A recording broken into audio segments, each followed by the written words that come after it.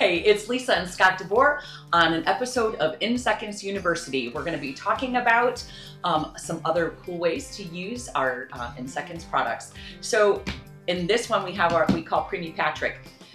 If you have any mannequins that are the same size as any of our scenarios, the nice thing that when you take, let's say, a newborn scenario, like number one, for example, and you want to put in an IV trainer, if you happen to have, we, we named this one Baby Violet, if you wanted to do an IV trainer and set that up along with it, as long as the, the mannequin measures the same size as the scenario. So if you're gonna measure with the Broselow tape red to the head, head to the heel, if you want them to do that tactile skill, then they're going to be able to use the same mannequin and then you don't need our board. However, if you don't want to do it that way and you don't have any of the fancy mannequins, but you want to do a, a very simple tactile skill for your students, for example, let's talk about an umbilical line. And so we do something where you can see that Preemie Patrick has his umbilical cord clamped. Well, there are lots of different kinds of trainers out there for umbilical lines that you can use. And that was why I asked Scott to come on this episode so that he could um, talk briefly because we just had somebody donate um, some actual human umbilical. Um, and so we're going to talk about what you can do with this if somebody were to potentially donate some for your uh, for your school and how you need to preserve this in order to be able to use it. So Scott, can you just talk a little bit about that? Because I know you've been using um, human umbilical cords in our labs for years. So how do you get them to stay so good and how can uh, an educator do this? Sure. So as Lisa touched on, when it comes to practice umbilical cords, there's boatloads of trainers out there. You've got ones that are attached to the mannequins. Very commonly though, from various manufacturers, you can buy just the fake umbilical cords. And you can buy them a couple inches long, cut them into pieces, put them in the top of a baby bottle with a cut off nipple. Put a little bit of fake blood or even easier, what we find is something amazing called Crystal Light. Yes. And you just put a little bit of fruit punch and water, you now have fake blood. And that really fast, I want to interject that.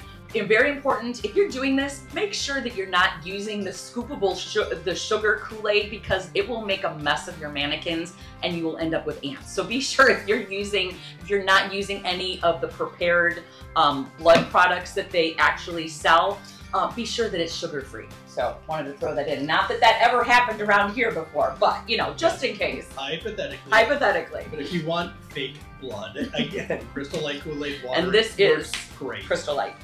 Now the other option, that Lisa touched on, is if you happen to work somewhere where they're nice enough to actually donate human umbilical cords.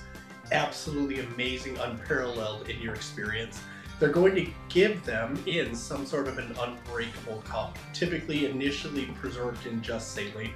However, as Lisa touched on, these umbilical cords you notice here in our plastic box are actually 15 plus years old. We initially put them in formaldehyde for seven days. Everything's dead. And after that, simply email us and we can provide the information as to where we get our formaldehyde from. And more importantly is once it's fixed with formaldehyde, you can rinse the heck out of them with saline to get rid of the formaldehyde.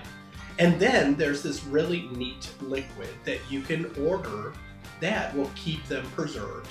It doesn't stink, it doesn't cause cancer, and you can go ahead, we'll also show you if you're interested, where you can get these unbreakable baby bottles from which is where we go ahead and keep our umbilical cords for over 15 years, happily floating and very much usable in. So again, just some really cool ideas of some things you can do to enhance our scenarios in seconds. And depending on what the scenario is, be as creative as you want with the things that you want to add to it. So thanks for being here, Scott, and we'll see you on another episode of In Seconds University. See you next time. Well, the scenario in seconds is, is awesome. Um, it was the first time that I experienced it uh, was I, I, was blown away, just absolutely blown away by not only the simplicity of it, but how easy it was to learn from it. We all know that you don't take care of that many kids. So what you don't do frequently, you have to rehearse much more frequently. This makes it easy. You don't have to get a whole lot of equipment together or have a formally uh, accredited instructor or any of a number of other things that you might have to do in other circumstances. This, set it up in five minutes, take however much time you can with however large a group you have, whether it's just one person or whether it's a whole classroom full. Um, it's going to work for you.